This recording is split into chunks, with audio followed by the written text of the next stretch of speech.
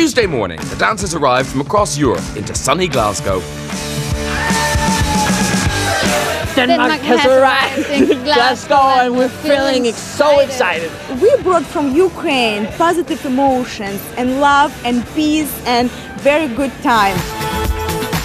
First up, it's time to meet the press.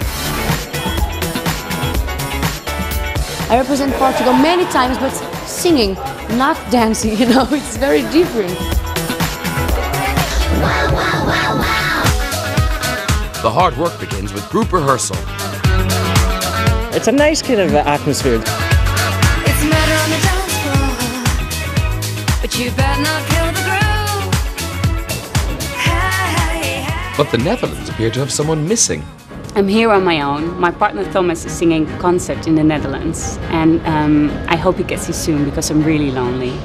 Portugal have their own drama. What you've done is you've pulled what are called intercostal muscles, and that's what's giving you the pain.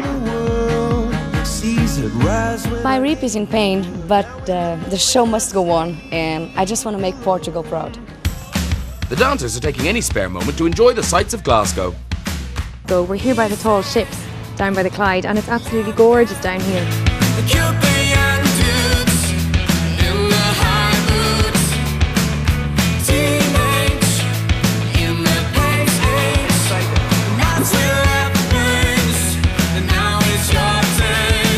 Thomas has finally arrived from the Netherlands, but something is still missing. Well, I just arrived here in Glasgow. I got no luggage.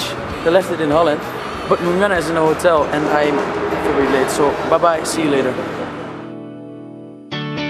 As the show draws nearer, the pressure builds. We've just been rehearsing all day, getting ready, preparing, getting quite excited. There's some serious fake tanning going on right now. Thomas is here, his suitcase is here, so let's get on with dancing. Woohoo! We can hear the audience now, so it's, it's crazy.